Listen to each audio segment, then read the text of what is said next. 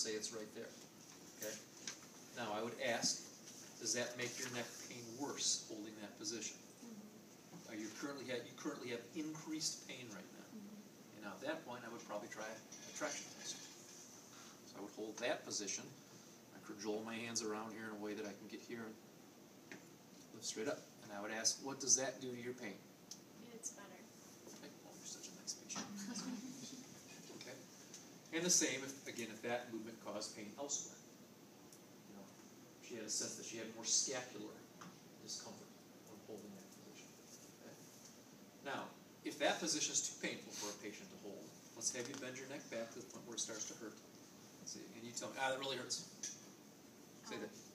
Say, ah, that really hurts. Ah, that really hurts. Okay. just come out of it just a little. Okay, yep, yep. Just see, I just barely moved her out of that. Then I would ask, is that a little bit better? Now, can you hold that position? Then you have a discussion again. Okay. Is your neck currently in more pain Then than it was? Yeah, as compared to just in the middle. Mm-hmm. Yeah. Okay. So if it's currently in more pain, you could choose to do traction, or if you're mean, you could try to make your pain a little bit worse. Okay, so you could do compression as well. Okay. But generally, it's a better idea to do an alleviation type of test if there is still in some degree of discomfort.